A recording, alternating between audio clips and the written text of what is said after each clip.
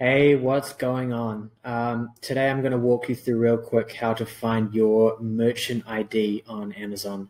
Um, you might also hear this called as a seller ID. Uh, basically, merchant ID, seller ID, they're the same thing. Uh, merchant token is different, but if someone says merchant ID or seller ID, um, yeah, it's the same thing.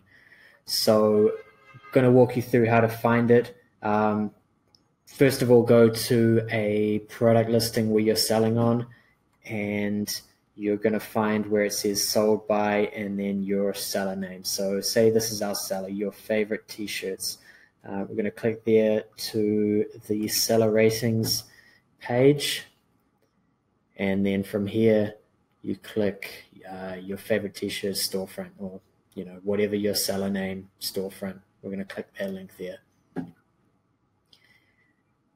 and then if we look up in the url um, that's going to have your merchant id in there.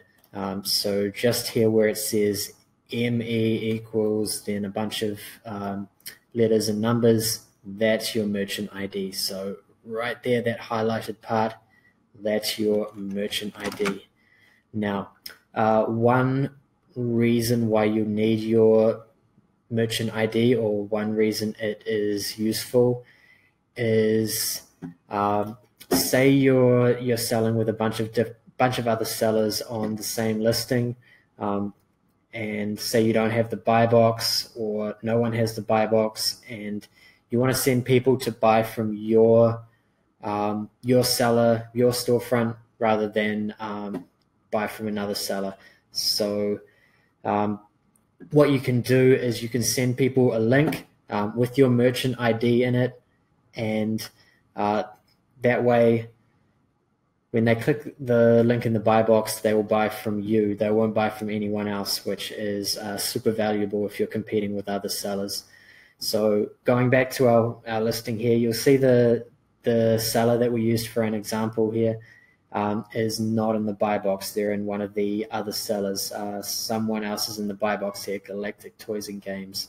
Um, so what we're going to do, we've copied our merchant ID and then right at the end of the URL, click and m equals and uh, paste our merchant ID. So that's what we have added in there right at the end of the URL. Now, if we reload the page, there you go. It says uh, ships from and sold by the merchant ID that we added.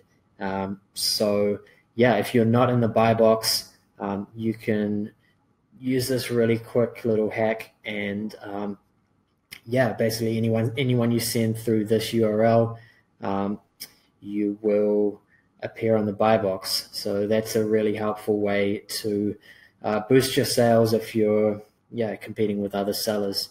I hope that was helpful and let me know in the comments if you have any trouble.